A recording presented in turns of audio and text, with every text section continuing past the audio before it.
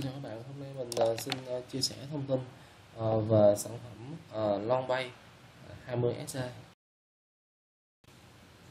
Đây là một trong những loại thuốc uh, đặc trị các bệnh uh, do nấm gây ra trên cây trồng. Thì ở bên trái màn hình các bạn, uh, đó là uh, mẫu chai của sản phẩm Long Bay 20SA, cũng giống như là nhãn uh, của sản phẩm.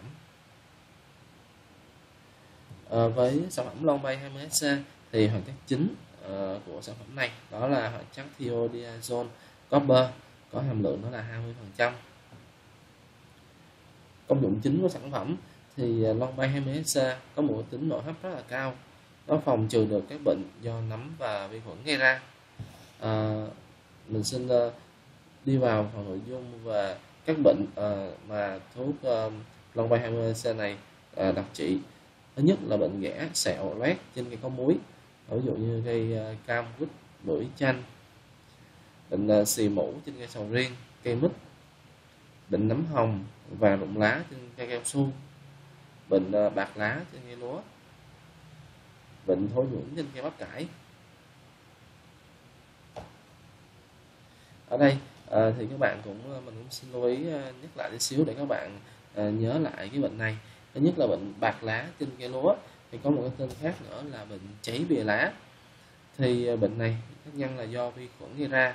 Chúng ta phân biệt với bệnh cháy lá như là bỏ đi chữ bìa các bạn ạ. Bệnh cháy lá là do nấm gây ra. Đó, còn cháy bìa lá hay gọi là bạc lá là do vi khuẩn gây ra.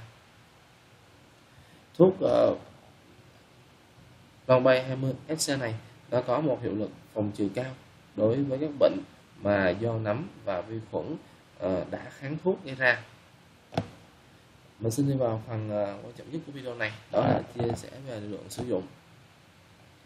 Lưu lượng nó là 0,2 à, ờ, xin lỗi các bạn 1,2 đến 1,25 lít trên một hecta. Lượng nước ờ, uh, phun cho một hecta đó là từ 500 đến 600 lít nước. Ngoài trị bệnh bạch lá lúa ra à, thì sản phẩm Long Bay 20 SA còn trị được các bệnh thối nhũn trên uh, cây bắp cải sẹo trên cây cam. Uh, chú ý sử dụng phun thuốc lần đầu tiên khi bệnh chớm hoặc là sắp xuất hiện. Nếu bệnh nặng thì chúng ta sẽ phun lại lần hai uh, khoảng cách giữa mỗi lần phun đó là từ 7 đến 10 ngày. Chúng ta nên phun vào thuốc vào sáng sớm hoặc chiều mát thì đó là những thời điểm tốt nhất uh, để cây hấp thụ thuốc cũng giống như để thuốc phát huy được tác dụng của mình. Ở đây thì mình cũng cũng chia luôn cái liều uh, cụ thể cho cái, cái liều phun thuốc các bạn cụ thể cho các bạn nắm được luôn.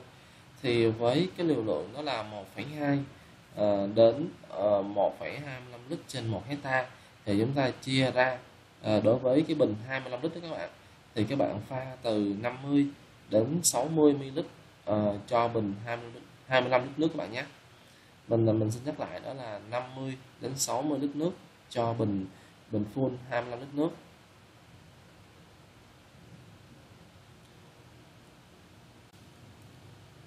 Thì cũng nhân tiện này thì mình cũng ờ, chia sẻ thêm một cái mẫu chai khác của sản phẩm Long Bay 20 sa đây là chai nhỏ các bạn nhé.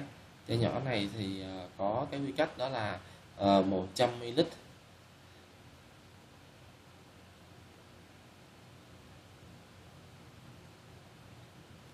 Thì video chia mình chia sẻ về sản phẩm Long Bay và hoạt chất, công dụng cũng như là liều lượng phun thuốc của sản phẩm Long Bay cũng đã hết thì mình xin cảm ơn các bạn đã dành thời gian theo dõi video của mình.